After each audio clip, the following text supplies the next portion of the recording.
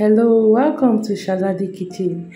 Today I'll be showing you how I made my banana, egg and milk combo. This is how I love making my own egg, frying my egg for my kids and for my husband as well. All you need to have is your banana, any quantity you want to make, determine the numbers of banana you take and the eggs. Your banana, your milk, powdered milk or liquid milk if you wish uh, and also your paper, your pepper, and your eggs. Just watch the step how I did it.